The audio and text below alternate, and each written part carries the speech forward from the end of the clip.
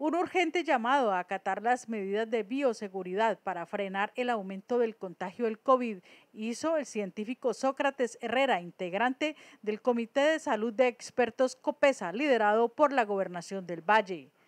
Ese repunte del COVID obedece al un poco de indisciplina social que se explica por las festividades de finales y principios de este año en las cuales seguramente se ha disminuido el lavado de manos, el uso de tapabocas y el distanciamiento social que se ha recomendado desde principios de la pandemia.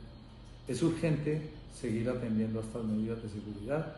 Sobre el temor que existe entre la gente en la aplicación de la vacuna contra el COVID, el también inmunólogo y docente de la Universidad del Valle sostiene que esta es la herramienta que contribuirá a la disminución de la enfermedad. Estas vacunas han sido aplicadas en este momento en más de 30 millones de habitantes de todo el mundo, Estados Unidos, Europa y otros países de América Latina. Y eso es una garantía para el momento en que vaya a hacer la vacunación en el país. Seguramente para ese momento ya habrá 100 o más millones de habitantes eh, vacunados en todo el planeta. La recomendación es estar preparados para la campaña de vacunación que empezará en las próximas semanas.